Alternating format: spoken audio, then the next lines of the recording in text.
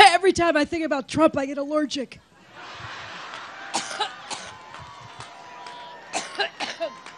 In just a few hours, he managed to turn his trip to Mexico into an embarrassing international incident. He even got into a Twitter war with the president of Mexico. Well, I just uh, wrote this the other day knowing I'd be here, and uh, I mean it from the heart. And uh, I'd like to just read it, and I think you'll understand it maybe better than I do in certain ways. For centuries, the African American church has been the conscience of our country. So true.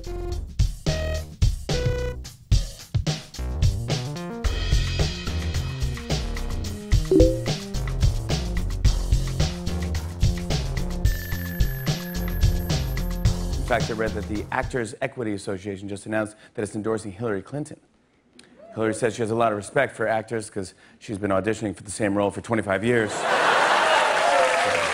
We've been blurred the big TV moments of the week, whether they need it or not. It is this week in unnecessary censorship. It is a great honor to be by you, Mr. President.